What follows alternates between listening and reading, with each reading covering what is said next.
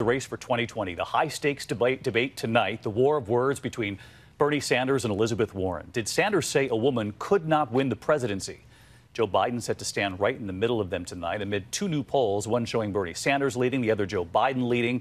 Elizabeth Warren and Pete Buttigieg very close behind. What does this all show? Very high stakes tonight. Linsey Davis from Des Moines. Bernie Sanders arriving today at the debate hall in Des Moines. Elizabeth Warren checking out the podium. Iowans bracing for the clash of the liberal titans. I hope Bernie reconsiders and turns his campaign in a different direction. The de facto non aggression pact between the two progressive senators seems to be out the door. Warren now charges that when she and Sanders met in 2018 to discuss the election, he told her a woman can't win. Among the topics that came up was what would happen if Democrats nominated a female candidate, Warren says. I thought a woman could win. He disagreed. Sanders firing back, it is ludicrous to believe that at the same meeting where Elizabeth Warren told me she was going to run for president, I would tell her a woman couldn't win. Do I believe a woman can win in 2020? Of course. Today, even one of their former rivals weighed in. Oh, a woman can be president.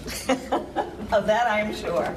Warren is also seizing on reports that Team Sanders is telling voters her chief supporters are highly educated, more affluent people, not the blue collar voters needed to beat Donald Trump. I was disappointed to hear that Bernie is sending his volunteers out to trash me. Sanders claims he had nothing to do with it. I have never said a negative word about Elizabeth Warren, who is a friend of mine.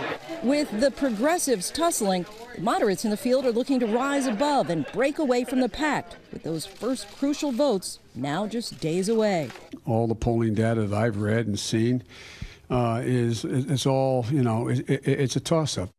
So let's get to Linsey Davis. She's live from Des Moines tonight. And Linsey, the stakes even higher tonight to try to break through for these candidates just about two and a half weeks now before the Iowa caucus is hard to believe because some of these candidates are actually going to be needed in Washington. They're going to be taken off the campaign trail for the Senate impeachment trial.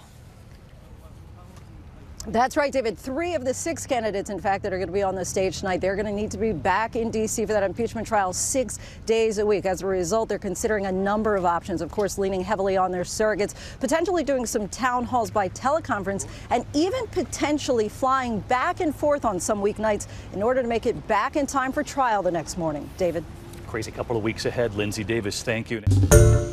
Hi, everyone. George Stephanopoulos here. Thanks for checking out the ABC News YouTube channel. If you'd like to get more videos, show highlights, and watch live event coverage, click on the right over here to subscribe to our channel. And don't forget to download the ABC News app for breaking news alerts. Thanks for watching.